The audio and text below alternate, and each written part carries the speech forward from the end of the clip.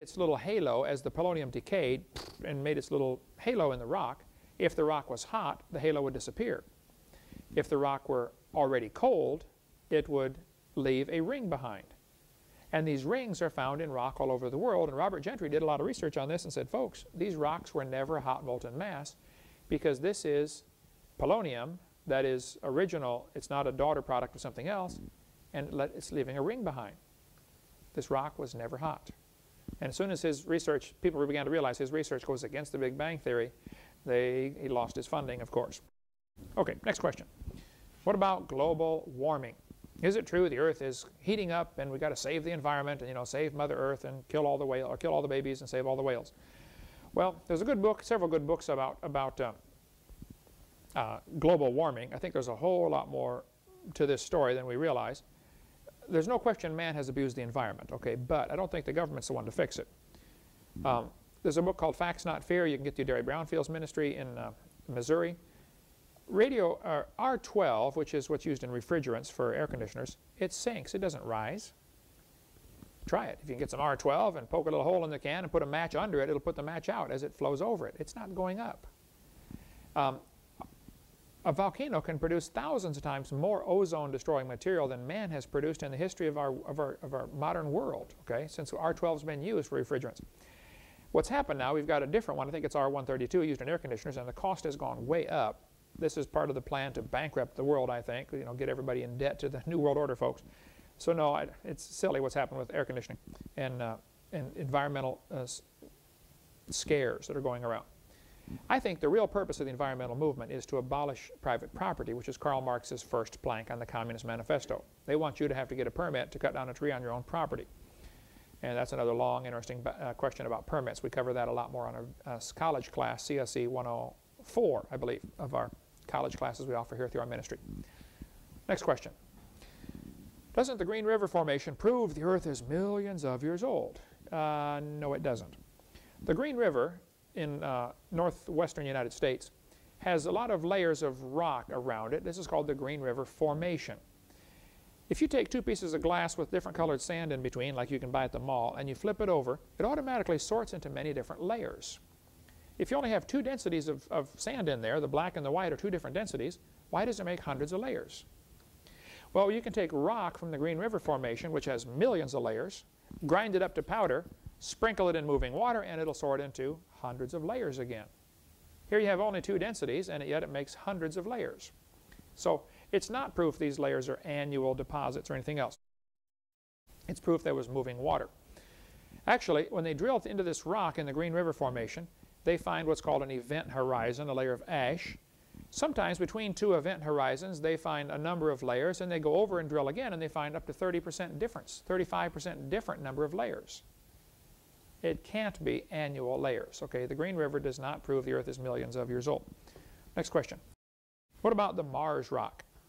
This article says, are we really Martians? Can't believe they cut down a tree to print that in a newspaper. anyway, the Mars lander on uh, the lunar landed on and tested Martian soil. The sophisticated equipment did not even find a trace of a germ, according to NASA.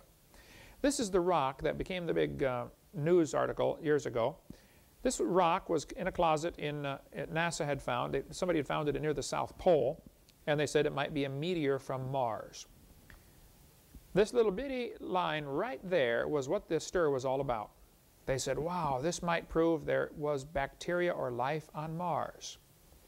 Well, the problem is Mars is a long ways from the Earth, okay? The closest it ever gets is about uh, 50 million miles. That's the closest it gets. If you shrank the Earth and Mars down and made them a couple of tomatoes to get the right scale here, Earth would be a 4-inch tomato and Mars would be a 2-inch tomato.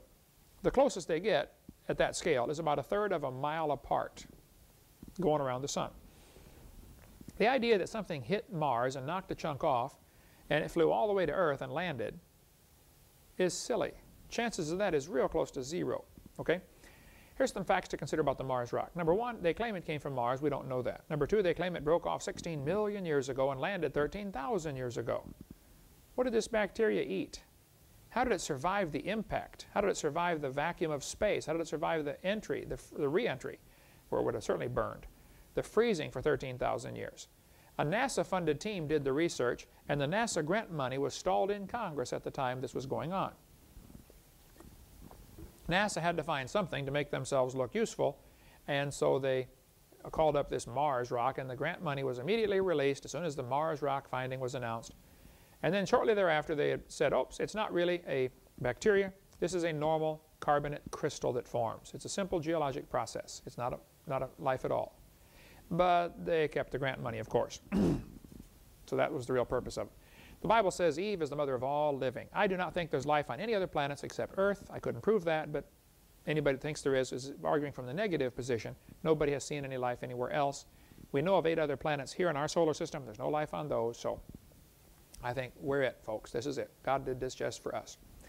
Next question. What about theistic evolution? Couldn't God use evolution to get us here? I was in a debate one time, and afterwards this man came up to me and he said, boy, you don't give much room to us folks who believe God used evolution, do you? I said, no, sir, don't give you any room at all. I think you got a retarded God. So if somebody says, could God use evolution? I say, well, that depends on what you mean by God. It's certainly not the God of the Bible. Um, the God that would use evolution or need to use evolution is cruel, he's wasteful, he's stupid, and he's deceitful. He's not the God of the Bible. It's not the character of God to use misfits and blind chance and death. My God gets it right first time. Jacques Monod, a Nobel Prize winner, said, Natural selection is the blindest, most cruel way of evolving new species in more and more complex and refined organisms. He said the struggle for life and elimination of the weakest is a horrible process against which our whole modern ethics revolts. An ideal society is a non-selective society, one where the weak is protected, which is exactly the reverse of the so-called natural law. He said, I'm surprised that a Christian would defend the idea that this is the process which God more or less set up to have evolution. I agree, Jacques. Christians ought to be ashamed of themselves if they're saying God used evolution to get us here. That's a cruel God. Uh, David Hull says, whatever the God of, implied by evolutionary theory and the data of natural history may be, he is not the Protestant God of waste not, want not. He's also not a loving God who cares about his productions. He's not even the awful God portrayed in the book of Job. The God of Galapagos is careless, wasteful, indifferent, almost diabolical.